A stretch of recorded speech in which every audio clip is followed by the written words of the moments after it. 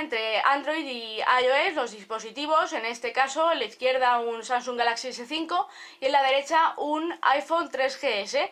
Sé que evidentemente no son de la misma generación eh, en la época, por así decirlo, pero me va a servir eh, prácticamente para todo en el caso de, lo que os voy a mencionar. Y bueno, voy a empezar por los pros eh, de Android y, bueno, si en todo lo que estéis de acuerdo o en desacuerdo, en comentarios podemos hablar de ello.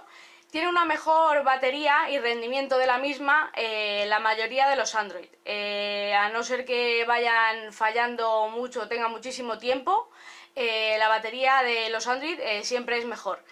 Tiene una mayor facilidad para, para rutear un, Android que un, un iPhone. Y luego la facilidad de personalización de la interfaz, que podemos ponerle muchísimos launchers distintos. La conectividad OTG, eh, que cada vez está en más dispositivos, aunque falta mucho, eh, sobre todo fuera de, Europa, en Android. Y sin embargo, en iOS lo que tenemos es otro dispositivo que tienes que comprarlo, em, por así decirlo, verificado, es decir, que sea eh, de la tienda de un Apple Store, para que te funcione correctamente en la mayoría de los casos, pues si no va a aparecer el mensaje de que no es eh, compatible. Entonces eso me molesta porque yo con el OTG puedo conectar eh, todo tipo de pendrives, em, eh, da igual el que quiera, puedo tener muchísimos pendrives distintos y conectarlos, en cada uno tener diferentes cosas y poder visualizarlas, escucharlas, compartir datos, lo que yo quiera. Pero en iOS solo los hay con ciertas capacidades, algunos funcionan, otros no y eh, en ese mismo pendrive tengo que tener eh, una cierta cantidad de cosas limitada frente a Android que puedo poner el, eh, USB que, que, yo quiera. Luego también tenemos muchos más dispositivos para elegir en Android, pero también es verdad que iPhone tiene mejor calidad en lo que es la, la, pues, la construcción, la duración del dispositivo, todo, todo eso.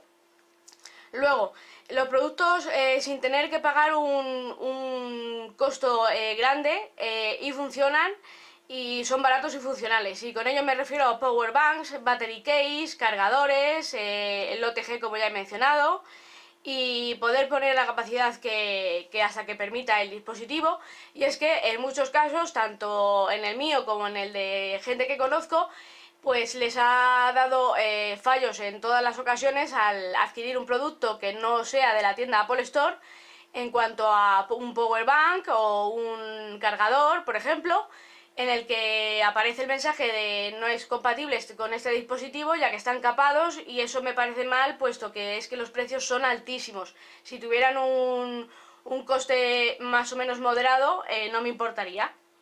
Luego el mini jack 3.5 Em, sin eh, coincidir con, el Lightning, em, a mí me parece más útil en el caso de, los Android solamente por una cosa, eh, y es eh, por que va a funcionarnos siempre, sea el cargador que sea, y en los Lightning no, y además se rompen bastante fáciles los cargadores. Y luego cuesta muchísimo tanto el lo que es el, dispositivo, bueno, el, bloque de carga como el cable.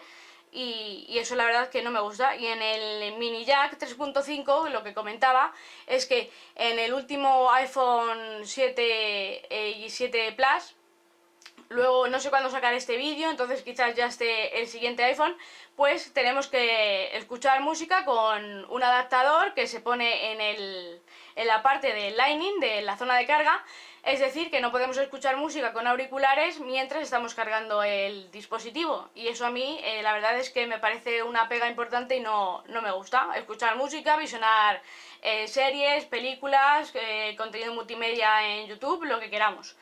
Luego también tenemos la conectividad mejor con otros dispositivos y con ello tenemos novedades en el mercado como son las que os voy a contar a continuación. Bueno, ¿a qué me refiero con la conectividad? Y es que cuando vas a mm, conectar un Android a un PC o un laptop, eh, no vas a tener ningún problema, lo va a reconocer enseguida, en la mayoría de los casos, y ahora ya sobre todo no tienen eh, fallo alguno, eh, que yo conozca por lo menos, y vas a poder poner películas, series, música, documentos, todo lo que quieras, pero sin embargo con un iPhone eh, no vas a tener esa oportunidad ya que mm, tiene el problema de que tienes que tener iTunes descargado, eh, la transferencia de música y de películas es algo más compleja, yo he tenido que, enseñar a algunas personas a hacerlo, entonces bueno, pero una vez acostumbrados eh, se puede solucionar, lo único que pierdes tiempo si estás fuera de, casa sobre todo y quieres hacerlo con otra persona que primero se tiene que descargar eh, iTunes si no lo tiene, eh, la versión válida, todo ese tipo de cosas que a mí me hacen perder tiempo y que no me, no me gustan. Luego tenemos también otra cosa como es la facilidad para encontrar más aplicaciones como es SnapTube por ejemplo que en Android no hay ningún problema para tenerla pero sin embargo en iOS eh, sí. ¿Esta aplicación en qué consiste? La tengo en un vídeo entero, lo que voy a dejar la tarjetita para que lo quiera.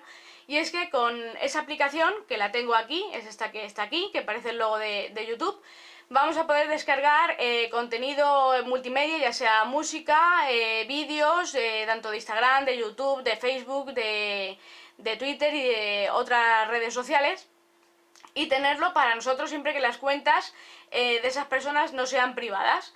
Entonces eh, me parece muy, muy buena aplicación, eh, va muy rápido, no hay ningún problema, pero en iOS no permite descargarla y lo sé por experiencia porque una amiga lo intentó y otros conocidos y no les ha, no les ha dejado, ya que les mandé el link del vídeo para que lo hicieran y no pudieron. Y bueno, luego eh, seguimos con las apps de pago o de mayor precio. Están más caras en, en iOS que en, el, que la plataforma de, de Android. Y también em, he de decir que aparte de que son más caras, eh, hay muchas que no las encuentras. También es verdad que hay que decir que hay muchas que es al revés, que no encuentras en Android y que sí en, en iOS pero eh, bueno, eh, ya cada vez Android eh, ha subido muchísimo el, listón en cuanto a aplicaciones y están casi todas. Entonces por eso hay menos problema, aunque efectivamente ahí sería un pro y contra a la vez. Luego el tema de la microSD, por ejemplo, para mí es muy importante. En el Samsung Galaxy S6 quitaron la posibilidad de poner una microSD para cargar más información y es que lo que yo no entendía para nada era que subiese en España, que es donde yo estoy, eh, donde yo vivo y de lo que estoy hablando, eran eh, por eh, poner, si por ejemplo tenía el dispositivo iPhone 6, em, no sé, 16 GB o 32 GB, si querías aumentarlo a 64, eran 100 euros más a pagar por ese smartphone. Al igual que pasa con iOS, que si quieres mayor capacidad tienes que pagar 100 euros, una media de 100 euros más y eso me parece totalmente ilógico y que se aprovechan muchísimo. Y el almacenamiento externo con una micro SD puede ser más lento, eso sí, un poquito, tampoco mucho, y nos acostumbramos enseguida y podemos eh, portar en nuestro smartphone todo tipo de contenido eh, sin ningún problema. Luego también eh, la música en todos los formatos, lo que no me gusta yo por ejemplo este smartphone, este celular de iOS, el iPhone 3GS, lo utilizo como, reproductor de música, como si fuera un iPod, por ejemplo. Y es verdad que muchísimas canciones no las detecta por los códecs de, tanto en los vídeos tampoco, los códecs de vídeo, los códecs de música y tienes que andar eh, cambiándolo y es eh, la verdad eh, pues muy pesado de llevar. Y luego también la facilidad y el mejor precio en las roturas. Android es más barato en cuanto a solucionar problemas de, de alguna rotura, de, lo que sea, y lo puedes eh, arreglar en cualquier sitio eh, más barato. Incluso, por ejemplo, Samsung tiene una eh, tienda suya propia, igual que la Apple Store, y es más, más sencillo y eso me parece mejor. Y, y, bueno, luego también compartir por Bluetooth. Lo que nunca he entendido es que no podamos compartir Bluetooth entre un Android y un iOS, porque me vendría genial, diréis, está el WhatsApp pero en el momento en que no tengamos eh, WhatsApp o, por ejemplo antes que los archivos no, no permitían hasta un cierto em, grado de megas para compartir los archivos pues no podías, tenías que hacerlo por Bluetooth o de otra, de otra manera y como no se, no se cruzar Bluetooth de Android con iOS, ese es una, un contra que a mí me, parece que, deberían eh, tomárselo en serio y poder hacerlo compatible y que no tuviera ningún problema. Y ahora vamos con los contras de Android. Bueno, ahora os quiero dar los contras de, Android, que serían los pros de, de iPhone. Y comenzamos porque tiene protección de virus peor en caso de Android que en Apple. Eh, ha habido fallos en, ambos, pero eh, muchos menos en, eh, en, la plataforma de, iOS y, bueno, eso es de agradecer y mucho. Luego, el peor hardware. a mí me gusta mucho que el rendimiento sea tan veloz como lo puede ser en un, en un iPhone, sea cual sea el, el modelo siempre van mejorando, obviamente. Y aunque luego se vayan equilibrando porque, bueno, ya se va quedando un poco más atrás el iPhone anterior frente al primero de, los siguientes, el hardware eh, está muy muy bien conseguido.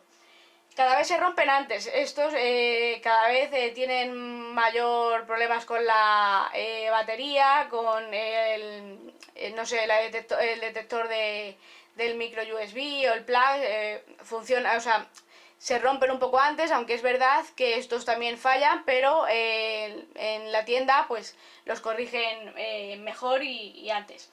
Luego, tiene menos gadget eh, Android frente a, un iPhone. En general, muchos menos, pero si hablamos de Samsung contra, contra Apple, va a haber menos diferencias, ya que como Samsung es un rival directo por así decirlo, de, Apple. Tiene muchísimos gadgets eh, para conseguir y, como ya he dicho antes, más baratos y compatibles. Pero es que yo he llegado a ver carcasas para un iPhone, hasta fue del 4S, eh, recuerdo, que valdría también para el 4, en una farmacia hace ya años y luego eh, cuando salió el 5 y el 5S en un centro comercial regalaban solo carcasas para, este móvil. Siempre podéis encontrar muchísimos tipos, muchísimos modelos, eh, más colores, de todo lo que queráis, eh, en cuanto carcasas y mucho más cosas. En, un iPhone, puesto que se venden más, eh, son los móviles más apreciados, por así decirlo. Y eso me gustaría que los demás lo llevasen, en este caso de Samsung ocurre menos, pero cuando nos vamos de, esta marca, eh, cada vez eh, tenemos más problemas para encontrar, por ejemplo, eh, cosas que, nos sean compatibles con, el smartphone que tengamos. Luego también tienen una desprotección al consumidor mayor que, que Apple frente a un problema generalizado y lo soluciona antes y mejor eh, Apple que eh, Android. Eh, en cuanto se dan cuenta de un error, incluso retiran del mercado, te dan una solución y lo actualizan software o lo que tengan que hacer para mejorarlo. Android tarda más, incluso por ejemplo con el Galaxy Note 7 no hubo forma de, parar el estropicio que hicieron, ahí bajaron muchísimo el listón que tenían ya logrado. Y, bueno, con el S8 y el S8 Plus, eh, la pantalla roja en muchos dispositivos. Y, bueno, em, también ha dado muchos problemas Apple, pero se han como corregido antes, por así decirlo. Por lo menos lo que yo he podido observar. Luego también tenemos eh, otra cosa que es que suelen tener eh, peor cámara y respuesta táctil, como ya os he comentado, la respuesta táctil pero peor cámara, aunque sea de menos megapíxeles, no tiene nada que ver. Luego, claro, cuando cambian, eh, por ejemplo, imaginemos el iPhone 7, cuando salga el 8 será mejor que el Samsung Galaxy S8, pero luego el, S9 tendrá mejor cámara que el, que el S8 seguramente, normalmente van siendo así, aunque cada vez las cámaras de los smartphones van siendo mucho mejores, yo creo que, la mejor, bajo mi punto de vista, tanto la delantera como la trasera, está mejor en eh, Apple. Luego también es que casi todas las apps eh, son adecuadas si hay menos eh, control en Android. Pero eso sí, también he visto muchísimas en iOS en, eh, bueno, en la, en la tienda, en la Apple Store, en la App Store, que son auténtica basura, que no sirven para nada y que están ahí, aunque aunque no sirvan para nada y lo sepan directamente, pero están ahí. Aquí hay menos control, pero también es verdad que, eso está... Eh, eh, iOS está perdiendo también eh, parte en eso que antes no, sucedía. Luego, las tiendas de Apple Store tiene una física que está en muchos sitios ya, hace años. Samsung tiene una propia y está en, también en, en algunos centros comerciales, por ejemplo, o, o bueno, a pie de calle si es un edificio, pero hay muchísimas más de estas y es muchísimo más fácil, valga la redundancia, de encontrarla y poder arreglar eh, tu problema y que, y que, bueno, que puedas preguntar cualquier cosa, ya sea de, un smartphone, de un PC, de un iPod, de un iPad, de un eh, Mac, eh, sin, ningún, sin ningún problema.